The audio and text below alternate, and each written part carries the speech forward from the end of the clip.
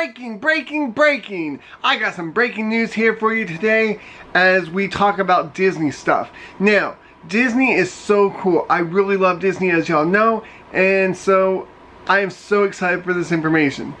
But first, I would like you to subscribe to my channel if you would if you like my content and also hit the like button. And with that, I hope you're having a magical day and let's begin.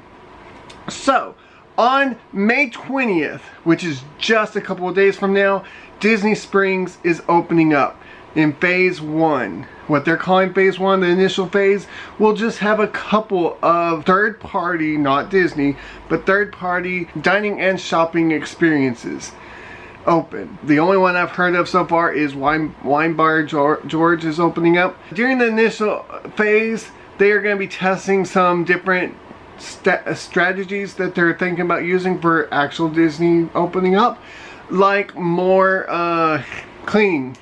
Cleaning the surfaces more and stuff like that. Yes, cast members or the people that work at Disney will be wearing masks or work at Disney Springs since it's not Disney will be wearing masks. They are taking health for guests and their cast members seriously so we will find out how this phase goes and hopefully if everything goes great then they will start opening up more.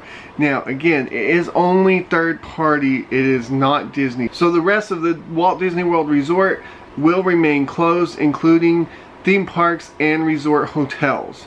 There is nothing opening up in in there yet.